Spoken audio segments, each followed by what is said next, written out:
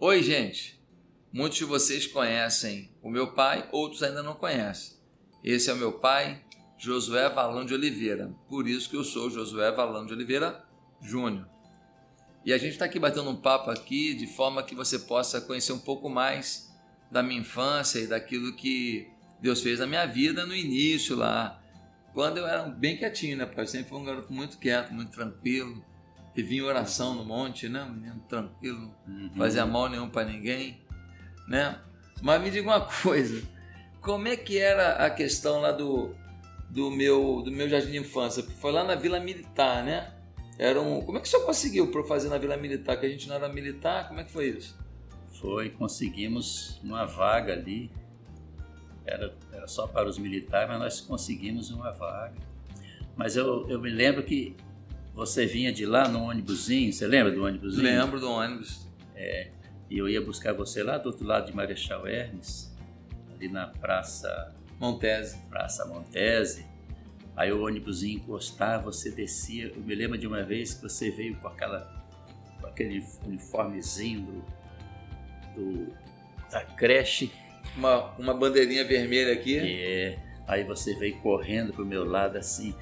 Não sei se você tinha visto alguma coisa sobre o Homem-Aranha lá naquele dia. Sei que você veio pulando igual.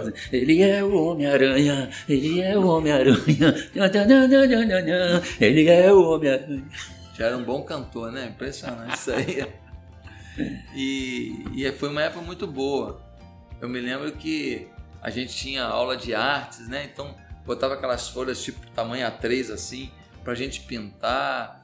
E me lembro que eu tinha um, além da minha mochilinha, tinha uma sacolinha com um pratinho plástico. Então eles davam um mingauzinho, davam uma comida, aquele negócio pra gente ali. Foi uma época muito boa. Eu ficava lá o dia inteiro. De manhã e voltava à tarde, né? Então era um, um turno só, é. né? Foi um tempo muito bom aquilo ali. Foi uma bênção de Deus. Aquilo ali foi uma bênção de Deus foi com muita disciplina, né? É um negócio organizado. Dentro da Vila Militar do ali em Marechal, na, no Deodoro. Deodoro, né? E aí a senhora passou da primeira igreja batista de Marechal Hermes. E como é que foi a ideia de fazer uma quadra de esportes nos fundos da igreja? Era comum isso na época? Como é que vocês tiveram essa ideia? Porque eu adorava aquela quadra, né? era futebol, a gente jogava vôlei, e eu passei a minha infância jogando futebol ali. Como é que foi essa ideia de fazer uma quadra nos fundos da igreja? É, não era fácil não. Tinha pessoas que diziam que aquela área toda do, do terreno da igreja era uma área santa. E ali não devia ter esse tipo de coisa, né? Mas nós conseguimos fazer, tínhamos uma mocidade muito forte, uma juventude muito forte na igreja.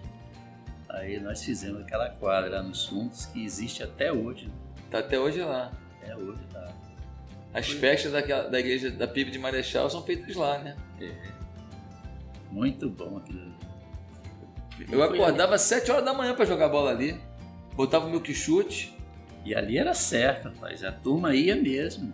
Faltava não. Sábado de manhã lotava aquele povo todo, mas tinha a molecada que a gente treinava e tinha que acordar acho que 7 horas da manhã para jogar, porque tinha que jogar antes dos adultos. Os embaixadores do rei. É, os embaixadores do rei.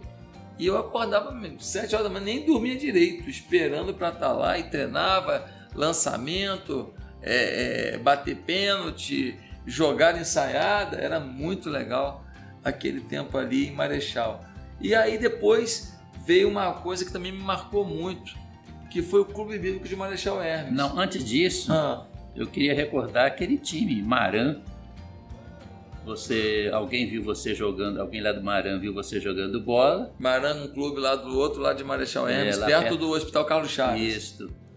E você e você, eles gostaram de ver você, o molequinho era bom de bola. Mas e, aí minha mãe não deixou. Aí, não. E antes disso também teve o judô, você entrou no judô. Lá no Mesquita. Lá no Mesquita. Judô Mesquita. Mas teve um problema, você foi, trocou de faixa lá e tudo, não me lembro até que Eu fui até amarela. Amarela. E... Mas aí eles começavam a marcar aquelas competições todas para o domingo. Você não podia ir para a escola bíblica dominical, não podia ir à igreja pela manhã. Aí nós Cortamos. Pela brincadeira, hein? E quando o Maran ligou lá para casa pedindo para sua mãe para você jogar no time do Maran, ah, não tem interesse nisso. Ele não tem interesse, a minha mãe ah. decidindo por mim. E eu encantado com futebol. Quer dizer, olha que talento que o mundo perdeu, né? Pela mãe. É, mas ela sempre dizia né, para você, ó, não, filho, existem coisas mais importantes do que jogar futebol. É, acho, acho que eu acho que hoje eu entendo. Naquela época eu não tenho certeza não. É, é. Agora, o Clube Bíblico de Marechal, que era um culto jovem, numa época em que nas igrejas não se tinha muita oportunidade assim para cultos jovens, com uma música mais moderna. Isso foi uma revolução que aconteceu lá na PIB de Marechal Hermes, né? Um tempo muito difícil, aquele tempo.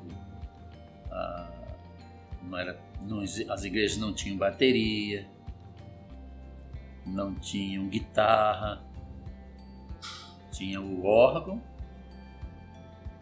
e tinha. Era o órgão que acompanhava as músicas, não tinha um violão tocando na, na igreja e entrou a bateria, o Clube Bíblico com a bateria. E algumas pessoas reclamaram, mas o certo é que aquilo funcionou tanto que chegávamos, chegamos a ter cerca de 800 jovens naquele Clube Bíblico. Numa segunda-feira à noite. Segunda-feira. O pessoal saía do trabalho, já pegava o trem, já descia em Marechal para ir para o Clube Bíblico. E às vezes estava lotado lá dentro e gente lá fora com caixa de som. Exato era uma coisa impressionante, né? Então foram algumas coisas que foram marcando a minha vida. Agora, durante a minha infância, eu sempre tive oportunidade de liderar de alguma maneira, né? Na, na, na classezinha lá das crianças, o Juninho vai fazer isso, o Juninho vai fazer aquilo. Então, eu acho que ali também eu já comecei a ser meio que treinado para algo maior no futuro. Eu tenho anotado nas minhas agendas. Hoje o culto foi dirigido pelos juniores, o Juninho dirigiu o culto. Entendeu? E a gente botava paletó.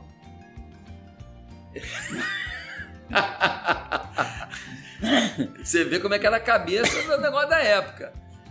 Mas assim, a gente gostava, a gente curtia, porque de alguma maneira a gente estava desafiando o nosso tempo, né? A gente estava vestindo um paletó e todo mundo ria da gente na igreja, ó, de paletó e gravata, mas a gente curtia, porque a gente estava mostrando assim, nós estamos crescendo, nós estamos avançando, a maturidade está chegando. Então, não era uma coisa assim pesada, não. Se fosse hoje, talvez alguém dissesse, não, isso não é necessário, mas naquela época a gente curtia, a gente entendia que a obediência àquilo não era algo que envolvia uma pressão maior para a gente. Então, eu dirigi e eu me lembro a primeira vez que eu preguei. O senhor lembra? Na escola de treinamento. Não, acho que não. Acho não que foi aquela professora da. Não, isso aí foi na escola, né? É. nós estamos na igreja ainda. Ah, na igreja. da igreja. Você foi convidado para pregar, eu acho que, se não me engano, foi Paulo Lima que te convidou para pregar na escola de treinamento. Mandou você preparar um sermão, aí eu preparei o esbocinho, dei para você, e você pregou lá naquele horário que ia de final da, da, das uniões de treinamento, né? Começava ali, eu acho que foi depois já de uma professora que eu tive, Ana Maria, que era da Congregacional de Bento Ribeiro, que eu lá na terceira série primária, por aí, ou segunda série, ela fez um evento dos, dos alunos, falou, você vai pregar. E o senhor me deu um sermãozinho, João 3,16. Lá na, na igreja congregacional. Isso aí. Um convite irrecusável. E eu preguei meu primeiro sermão e foi um sermão evangelístico. E eu era um menino de terceira série primária. Então você vê que como que essas sementes do início da nossa vida podem nos levar mais longe. Bem, nós vamos fazer vários vídeos. Eu e meu pai batendo papo aqui. Esse é o primeiro vídeo com o título Infância. E eu quero que você saiba que a minha infância foi uma infância rica de alegria. Eu ia para a igreja como se fosse a minha casa. Eu jogava bola na igreja, eu soltava pipa na igreja, eu fazia arte na igreja, ou seja, a igreja não era um lugar para mim de opressão, um lugar de proibição, era um lugar de aceitação, era uma extensão do meu lar. E por isso eu amo tanto a igreja. Bem, fique com Deus e ajude os seus filhos a amar a igreja, a se sentirem muito acolhidos na igreja. Nunca diga assim: olha, vou falar com o pastor. Não, você vai falar com qualquer pessoa. Com o pastor, você só fala assim para o seu filho. O único que é te defender aqui é o pastor. Porque se os seus filhos amarem o pastor, há uma grande chance de, se um dia precisarem, aceitarem ajuda pastoral. Que Deus te abençoe. Dá um tchau para a galera aí, pai. Tchau, Deus abençoe você. Que Deus abençoe aos pais que estejam vendo, ouvindo este vídeo, vendo e ouvindo, né? E que vocês, pais, sejam tão felizes com seus filhos como eu, eu tenho sido feliz com meu filhão. Beijo. Beijo, pai. Beijo. Fica com Deus. Gente, mais uma coisinha. Se inscreve no meu canal aí. Se inscreve no canal e depois aperta o sininho. Para cada novo vídeo, você ser notificado, ficar sabendo do vídeo e poder assistir. Todas as mensagens que eu estou pregando por aí estão colocadas no canal e também todos os vídeos que a gente está fazendo vão para o canal. Vê se me segue lá no canal de YouTube, tá? Falou. Tá bom? Fechou.